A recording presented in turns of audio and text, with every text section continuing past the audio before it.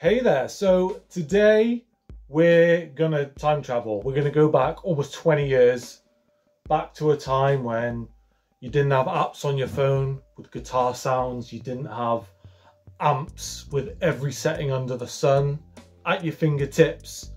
Mostly you had crappy pedals, and if you were lucky, you were able to get something like this. The good old Zoom G2.1U. They loved their catchy names back in the day, didn't they? Bloody hell, G2.1U. This is an early multi-effects unit. Loads and loads of settings on here. I thought it'd be really fun to test this out today. I bought it recently for someone else in the home. And I remember when these first came out, to be honest with you, um, but I never, I never had one.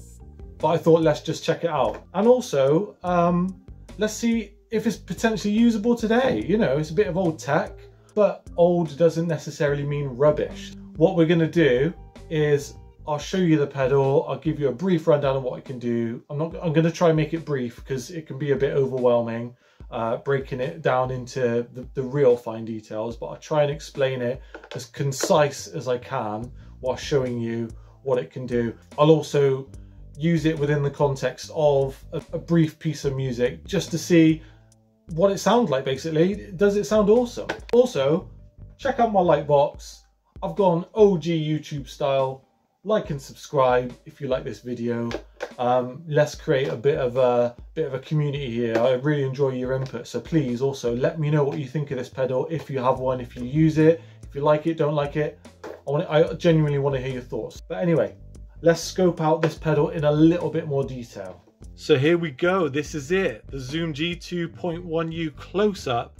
This pedal I bought secondhand because uh, it's an old bit of kit and stay tuned for the rest of this video because there is a very tenuous link to Led Zeppelin with this pedal. I'm not joking. There's there's a link to Led Zeppelin. I'll explain later. But I'm going to try and run through these settings as concisely as I can. Two foot switches here. It's not plugged in at the moment, but I'll show you what they do later. Plus an expression pedal here. You've got loads of settings, so you can move these dials to adjust all these settings. Each um, effect is adjustable. You've got a gain setting, a, a tone setting, and a level setting. Um, and then also you've got a drum machine which you can activate here. You can affect the pattern, the tempo, the mix here.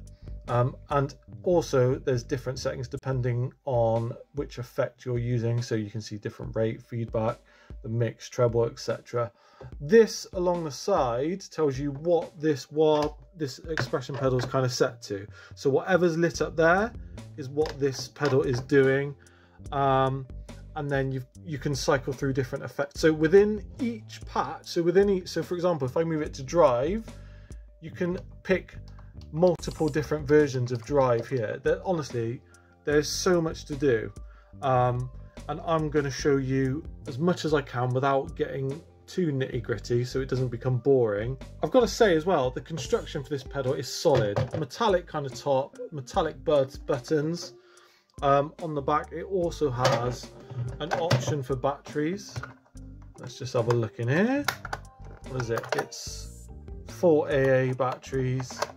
Um, and then your inputs, outputs, you've got USB, input, output, control in, stick some headphones in as well let's plug it in and start making some basic sounds. And today we're going to be using the Vox Cambridge 15 completely clean. These are the settings that I'm using. They're upside down. So stand on your head to see exactly what those settings are, but that's that's the sound I'm going for. So here we are, the Zoom G2.1U. that was a good sound, wasn't it? Um, I'm going to show you what it's like on its base level and I'll try and keep this nice and concise. There's a lot to get through with this pedal. I won't go through every detail, but hopefully it gives you an idea. Uh, we're on zero, which is your, your base setting. It's like a gain. As I said to you earlier, these lights tell you what this pedal's doing. So volume. So it indicates volume right now. I've got it on the play setting. I don't know if you can see that, but that says play and that is your cycling through effects mode all right you're not you're not really adjusting stuff um and and this just helps you cycle through effects So I'm on zero. I just cycle through using the pedals, up or down, whatever I want, different sounds for each one. There are 40 preset sounds in here, okay? All adjustable as well, uh, but 40 presets that you get straight off the bat. Um, yeah, all of them adjustable, like I said. So if I want more gain, just whack the gain up. If I want less gain, turn the gain down. Same, same with the tone controls. More bass, more treble, um, and more volume as well. If you want to cycle through a bit quicker, you can press this to jump 10 sounds ahead. So for example, we're on 0, 10, 20, 30, etc. Let's just make some noise. What's this sound? What does this thing sound like?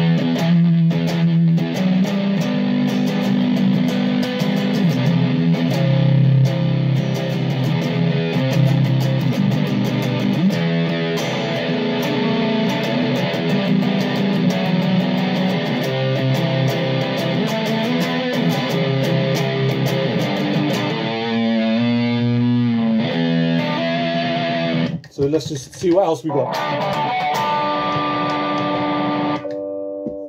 Oh, we got like a bit of a funky wah.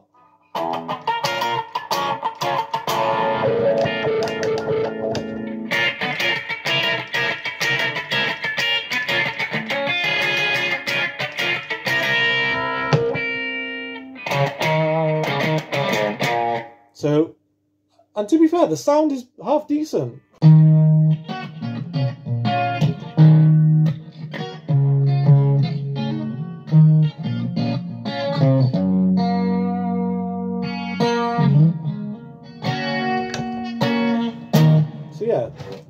Pedal shows you you're adding more modulation, less modulation. So that's adding more chorus.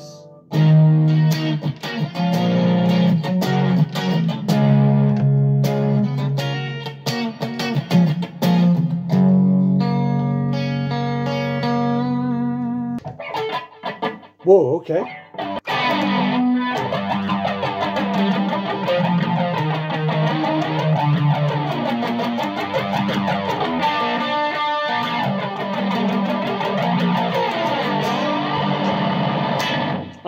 Again, insane.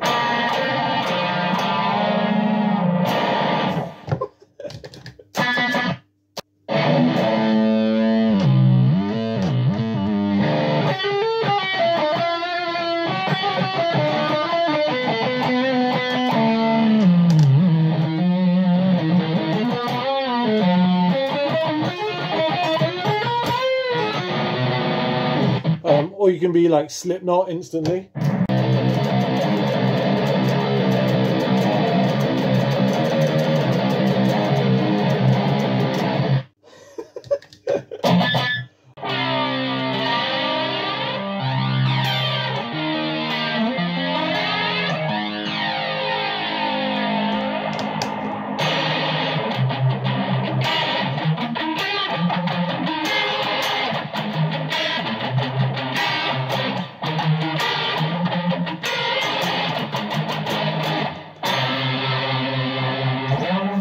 Uh, let's try the last effect 39.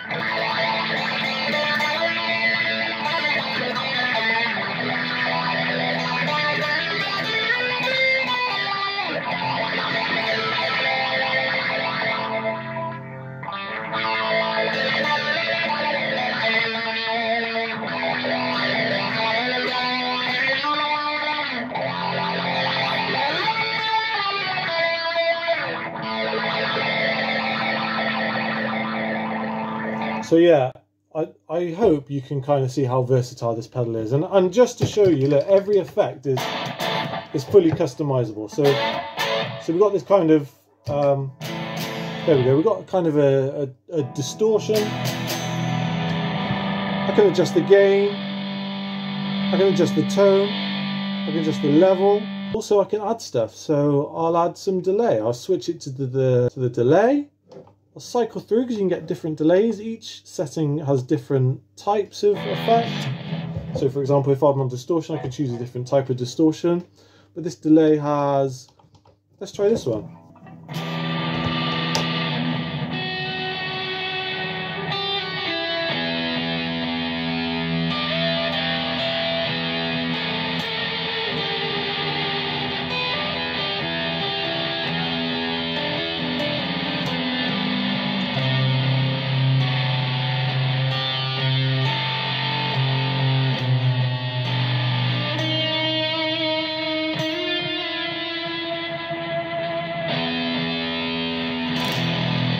But yeah, that's just an example of how you can adjust stuff. You do that for every effect.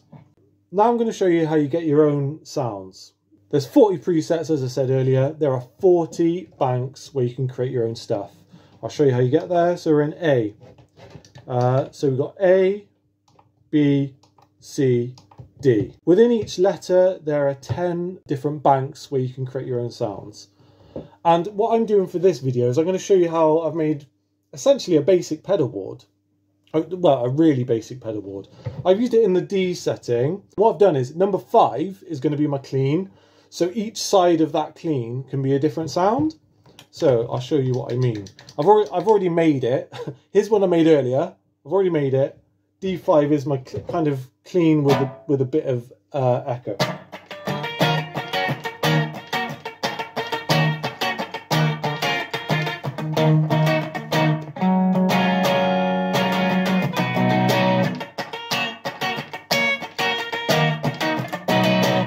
My clean. What I thought is if I go to the right, I can have a distortion. So I made a distortion.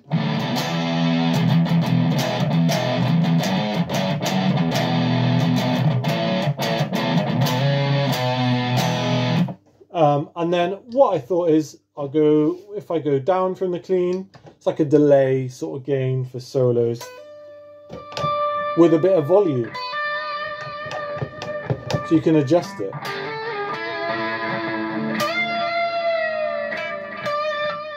I guess the only um, downside of, of this trying to use it as a pedal was you have to cycle through to get to the next effect, which is why I've done it that way. I'd rather put the clean in the middle, then you can cycle either side of it to, to get a different sound. And I'm going to use these effects within the context of a piece of music so you can hear it going direct in and hear what kind of quality you're getting. So yeah, let's check out that bit of music now. Make a bit of noise, come on.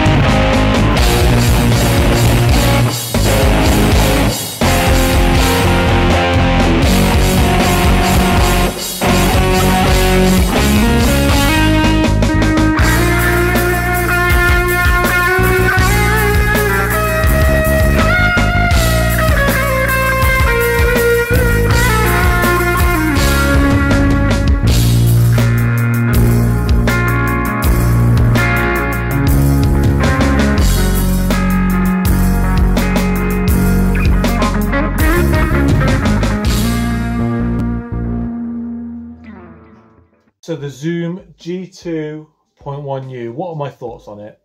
Let's be honest, it doesn't compare to modern equipment. It can't. 20 years later, it can't compare with what's out today. But is it still worth a go? I'd say yeah. I'd say definitely. If, if you just want to create some cool sounds, get inspiration, have a mess about and have fun, which is ultimately why we play music, surely, is to just have fun. This thing absolutely does the job. Could I gig with it? Uh, I think I could. I think I could get enough sounds to get what I need to get through a gig. Let me be clear, they're not comparing to individual pedals or a, a bespoke setup with, you know, things that you really enjoy. But to get through a gig, you could definitely create a few sounds to get through a show, a gig, a performance, whatever. The way I view these pedals are like a international all-you-can-eat buffet. it's got everything you like there there's no gourmet meal. The food isn't particularly high quality, but it's yummy, and you can get creative um, and enjoy yourself. But it's not a bespoke, high quality pedal, you know, for a specific sound. You know, it's not a high quality chorus or high quality distortion, gain, overdrive, whatever. But it's enough to do what it needs to do, if you know what I mean. So yeah, this is this is the all-you-can-eat buffet of pedals. Yeah, and, and I enjoyed it. At the start of the video, I said there's a tenuous link to Led Zeppelin. Now, um, when I got this pedal, I, I still got the box and the manual for it. So it came in this box, the manual in great condition, the pedal the pedal's in great condition. I got it second hand off um, Facebook Marketplace, and I I went to a lady, um, and it was it was an elderly lady, and unfortunately her husband had died, um, and she was selling a lot of his music equipment, and I got chatting to her, and she's she mentioned, oh yeah, he used to he used to play with Bonzo, and I was like, who's Bonzo? I said, you can't, she can't be chatting about John Bonham, like, you know, like what what have I walked into here? She said, oh yeah, my husband um, was in the last band John Bonham was in before he got picked up by Zeppelin, and she brought out these these old articles of of her husband and John Bonham and whoever else was in the band at the time. They were a three piece, I think, like a covers band doing lots of music halls, and they'd signed a, a, a record deal or a, some contract, and that was there, yeah, him and John Bonham. So there's your extremely tenuous link from this pedal to John Bonham. but yeah, how cool was that? Just to, to walk into that little bit of history. It was nice, really nice lady, and obviously it was unfortunate um, the reasons why this pedal has come this way, but it's definitely in good hands. It's going to get a lot of use. Let me know your thoughts on these Zoom pedals. Have you got one? Did you like it? Have you tried it and not enjoyed it? Would you Would you think of getting one today? Because less, you know, it is old tech now compared to what you get nowadays, but you can still get them relatively cheap online. I got this for an absolute bargain. I think I only paid like 20 quid for it, and you're not paying much more nowadays. So that is the Zoom G2.1U. Thanks for taking a trip back in time to the early uh, 2000s. Hope you enjoyed it, and uh, yeah, take it easy, guys.